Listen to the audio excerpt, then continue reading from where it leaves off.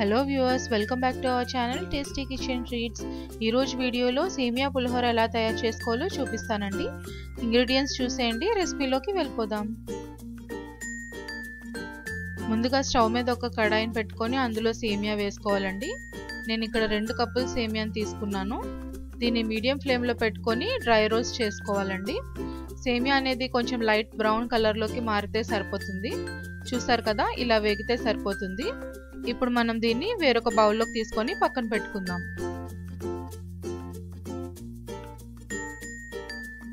సేమియాని boil చేయడం కోసం నేను ఈ కడాయిలోకి వాటర్ వేసుకుంటున్నానండి. ఒక కప్పు సేమియాకి ఒకటిన్నర కప్పు వాటర్ పడుతుంది. నేను రెండు కప్పులు సేమియా కోసం మూడు కప్పులు వాటర్ని వేస్తున్నాను.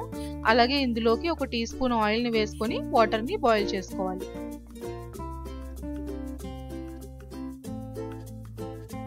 వాటర్ ఇలా బాయిల్ అవుతున్నప్పుడు మనం ముందుగా వేయించి పెట్టుకున్న సేమియాని ఇందులోకి వేసుకోవాలండి. దీన్ని కలుపుతూ బాగా ఉడికించుకోవాలి. మనం ఆయిల్ వేయడం వల్ల ఈ సేమియా అనేది ఉడికాక బాగా పొడి పొడిగా వస్తుంది. చూసారు కదండి? సేమియా అనేది బాగా ఉడికిపోయింది.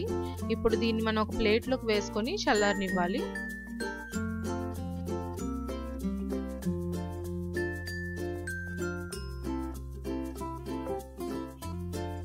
ఇప్పుడు పోపు కోసం మనం ముందుగా కడాయిలో కొంచెం ఆయిల్ వేసుకుందామండి.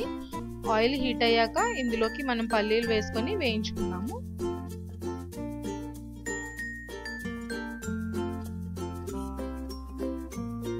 పల్లీలు కొద్దిగా వేగిన తర్వాత ఇందులోకి ఆవాలు జీలకర్ర శనగపప్పుని వేసుకొని వేయించుకోవాలి.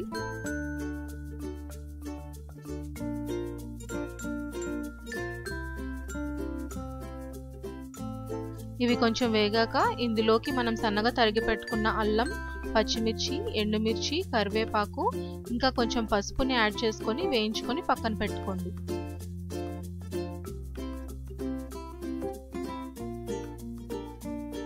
ఇప్పుడు మనం ముందుగా ఉడికించి పెట్టుకున్న సేమియాలోకి రుచికి సరిపడా ఉప్పు ఇంకా నిమ్మరసాన్ని వేసుకొని కలుపుకోవాలండి.